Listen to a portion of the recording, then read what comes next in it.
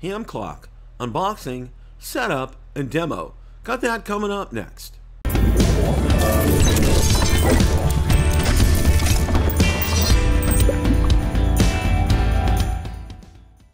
Bill from Ham Radio Basics here. If you like the content of this video or anything on my channel, make sure you hit the subscribe button and ring the notification bell so you don't miss any future content. With that, let's begin. Everyone loves a ham clock. They provide a lot of great useful information to the amateur radio operator. Unfortunately, they can be complex and difficult and cumbersome to set up. Well, Veritium Research solves that problem. They produce ham clocks in two forms. They produce them in a display case, which is really nice, and they also produce a standalone module that you can hook up to your monitor and to, to Ethernet, and you'll have your ham clock. So without any further ado, we're going to roll the clip for the unboxing, then the setup, and then the demo. Okay, we're going to do the unboxing of the ham clock here. Uh, it comes in a priority mailbox, and on top uh, an invoice and then a comprehensive set of directions are with it as well. Here's nice bubble wrap on top of it to protect it. See, this is made in the USA. Let's go ahead and open up this box.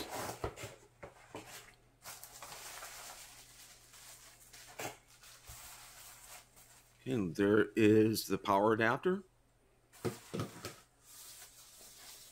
And here is the module. Take a look at the ports on the back,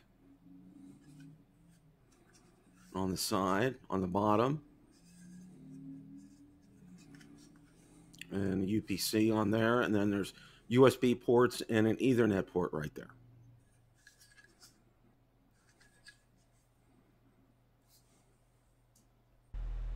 Okay, that was the unboxing. We're going to go ahead and do the setup right now. Okay, we're going to go ahead and show you the setup. Here's the Ethernet cable. You can see I have that plugged directly uh, into my router. There's the HDMI cable that's plugged into my big screen TV.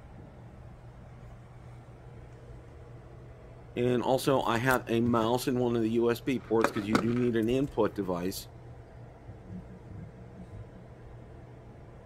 And then you connect this in to power the device on. I've also included a copy of the complete detailed instructions on how to get the ham clock set up. And one item of note, you do need to enter your Wi-Fi password to be able to get it on. And once you have done that, it's ready to go. And here is the demo. Okay, here we are in the ham clock. And of course, you can see in the upper left-hand corner my information regarding my ID. Um, you can select different things. For example, terrain here. Uh, you can take a look. You, if you want to add a grid onto it, latitude and longitude, uh, and you have various other options to be able to do that here as well. Click OK when you're done. Again, you got to use the mouse, the mouse interface. You can see I added grid lines on there.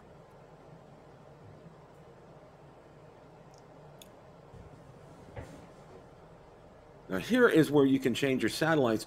And one thing that you need to note is you need to wait for the satellites um, to uh, show up in this from the system in there, and it does take a few minutes to do that.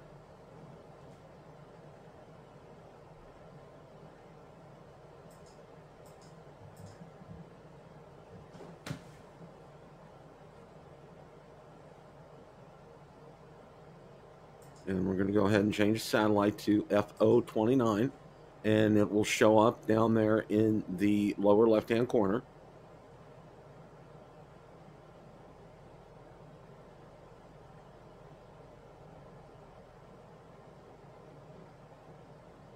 here we're going to go back and see if we've acquired more satellites in there.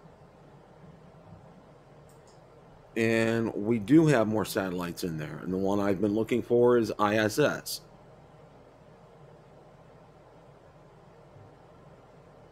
can go ahead and select that and hit OK. And wait for a minute for the information to pop up. And then it does pop up. And ISS rise in one hour and five minutes.